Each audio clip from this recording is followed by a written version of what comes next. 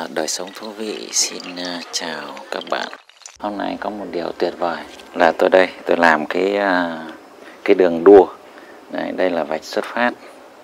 À, đây là vạch đích. Và tôi sẽ nói về một cuộc đua kỳ lạ nhất hành tinh. Thì uh, chúng ta sẽ chuẩn bị đạo cụ. À, cuộc chạy này thì chúng ta biết rồi. Là sẽ tôn vinh người về đích sớm nhất. Và đây là cuộc đua nữa. Cuộc đua xe ô tô công thức 1 đây cũng là vạch xuất phát này. Chạy về kia. Tức là đích. Thì cuộc đua này cũng vậy.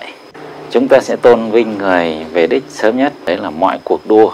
Chúng ta đều tôn vinh người về đích sớm nhất. Và đây là cuộc đua tiếp theo mà tôi muốn nói. Cuộc đua này là cuộc đua của thiên niên kỷ. Đấy, lúc sinh ra này. Và chúng ta đua cho đến khi chúng ta chết đi.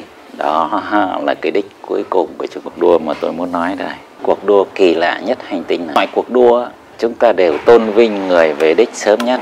Đó, về đích sớm nhất.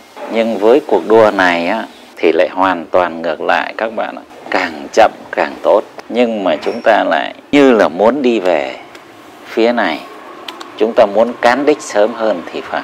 Bởi vì tôi thấy rằng như này, hàng ngày tôi quan sát, thấy nào là ăn, họ cũng ăn cho thật nhanh. Đi, họ cũng đi cho thật nhanh làm, họ cũng làm cho thật nhanh. Để làm cái gì? Y như là họ muốn về cái đích này sớm hơn thì phải. Mọi người đang đi về phía này đấy. Mỗi bước chân dù ngắn hay dài, bạn đều đang đi về phía này.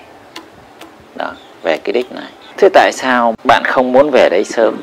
Nhưng mà hành động của bạn thì liên tục như muốn về đấy sớm. Không ai tôn vinh người về đích sớm đâu bạn ạ. À.